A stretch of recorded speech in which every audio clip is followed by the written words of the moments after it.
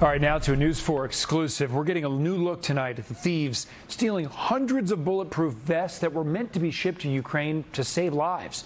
News 4's Marc Santia's live force in the East Village now with this video you're going to only see on News 4. Mark?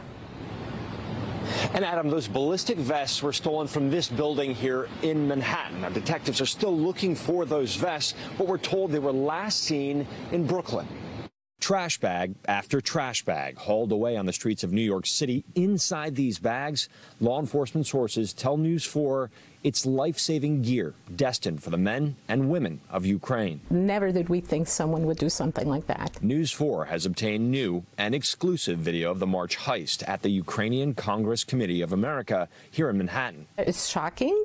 Uh, we were in disbelief. Suffolk County Police donated 400 ballistic vests. Ivanka Sajak says the vests were going to nurses and doctors caring for civilians in and around Kiev, not for soldiers on the front lines. Put yourself in the place of a person, a doctor, and you want them to take care of you, but they're not able to because they're hurt. Because without the doctors and the nurses to help the injured, they wouldn't get the help. So we decided it's time to protect the, the, the, medical people. The vests were moved to the East Village and stolen the next day. Sajak had to break the news to medical personnel in Ukraine. You can hear missiles flying or the alarms going off, and you're telling them a story from America, from New York, that should not have happened.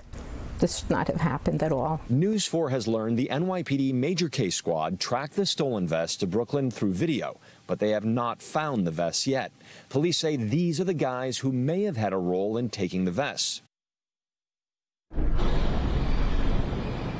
Right now, thousands of dollars are being offered for any information leading to an arrest. If you recognize the men in those photos, in those videos, you're asked to call police immediately. We're live in the East Village. I'm Marc Santia, News 4 New York. Okay, Mark, thank you. And in the meantime, the race is on tonight to rescue hundreds of Ukrainian civilians still trapped in a heavily bombed steel plant in Mariupol. Russian forces are continuing their assault despite strong Ukrainian resistance. About 300 civilians are bunkered in that plant, along with members of the military. The UN has established a human corridor to get people out, but it could take days before we learn if it worked.